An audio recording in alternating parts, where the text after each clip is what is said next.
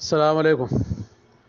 ഉസ്താദെ ഒരു ചോദ്യം അടുത്തൊരു ചോദ്യം ചോദിക്കാനുള്ളത് സൗവാലിലെ ആറ് നോമ്പിനെ പറ്റി ഒന്ന് വിശദീകരിക്കണം നിങ്ങൾ എന്താന്ന് വെച്ചാൽ സൗവാലത്തെ ഈ ആറ് സുന്നത്ത് നോലുമ്പ് ആറ് ദിവസത്തെ നോലുമ്പ് അത് ആദ്യം തന്നെ പെരുന്നാളിന്റെ പിറ്റേന്ന് മുതൽ ആദ്യം തന്നെ തുടർച്ചയായി നോക്കണാണോ നോൽക്കൽ എന്നുള്ളതിന് കൂടുതൽ അഫ്ലലുണ്ടോ എന്നുള്ളതാണ്. പിന്നെ അതല്ല ഘട്ടം ഘട്ടങ്ങളായിട്ട് ഈ ഇപ്പോൾ രണ്ടെണ്ണം ഒന്നൊക്കെ നോൽക്കുക. പിന്നെ നാല് ദിവസം അഞ്ച് ദിവസമായിട്ട് ഒന്ന് നോൽക്കുക. പിന്നെ അങ്ങനെ അങ്ങനെ നോക്കുക നോറ്റി ഈ മാസം കഴിയണീന് മുന്നേ നോറ്റ് വീട്ടണീന് കുഴപ്പമുണ്ടോ? അതല്ല ഇനി ഫസ്റ്റിലൊന്നും നോക്കാതെ ഫസ്റ്റിലൊന്നും നോമ്പെടുക്കാതെ ഈ മാസം അവസാനം അവസാനത്ത് കൊണ്ടുപോയിട്ട് അവസാനത്തിൽ ആറ് നോമ്പ് ഒരുമിച്ച് അങ്ങനെ തുടർച്ചയായി ആറ് ദിവസം അവസാനത്തെ പത്തിലെടുക്കാൻ പറ്റുമോ? അതുകൊണ്ടുണ്ടോ? ഏതാണ് അഫ്ദൽ എന്നുള്ളതാണ്. എന്തെങ്കിലും വ്യത്യാസങ്ങൾ അതിനൊക്കെ വ്യത്യാസങ്ങളുണ്ടോ? ഒക്കെ സമം തന്നെയാണോ എന്നുള്ളതാണ് അറിയേണ്ടത്.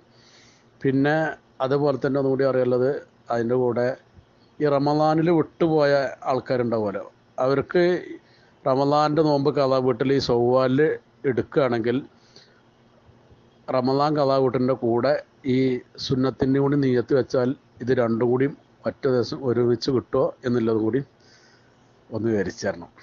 അസ്സാം വലൈക്കും വറഹമത്തല്ലാ വാബർക്കാത്തു بسم الله والحمد لله الصلاة والسلام على أشرف رسل الله وعلى آله وصحبه أجمعين قال رسول الله صلى الله عليه وسلم من صام رمضان ثم أتبعه ستا من شوال كان كصيام الدهر ആരെങ്കിലും റമദാനിൽ നോമ്പനുഷ്ഠിക്കുകയും തുടർന്ന് ഷവ്വാൽ മാസത്തിൽ ആറു നോമ്പ് അതിന്റെ തുടർച്ചയായി നോൽക്കുകയും ചെയ്താൽ അവൻ ഒരു വർഷം മുഴുവൻ നോമ്പ് അനുഷ്ഠിച്ചതുപോലെയാണ് പ്രധാനപ്പെട്ട സുന്നത്ത് നോമ്പാണ് ഷവ്വാലിലെ ആറു നോമ്പ്.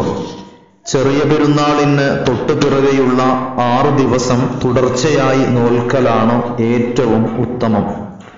കാരണം അതിൽ ഇബാദത്തിനെ ഉളരിക്കുക എന്ന നന്മ കടന്നു വരുന്നുണ്ട് ഷവ്വാലിൽ ഏതെങ്കിലും ആറു ദിവസം നോമ്പെടുത്താലും അടിസ്ഥാന സുന്നത്ത് ലഭിക്കും. അത് തുടർച്ചയായിട്ടല്ലെങ്കിലും ശരി. ഇയാനത്തു ത്വാലിബീൻ ഷറഹ് മൻഹജ് ത്വാലിബീൻ അൽ മുഹറർ അൽ മുഹദ്ദബ് ഫിഖുൽ ഇബാദാത്ത് ഒംദത്തു സാലിഖ് ഷറഹ് മുസ്ലിം എന്നീ കിതാബിലൊക്കെ ഈ വിഷയം പറഞ്ഞിട്ടുണ്ട്.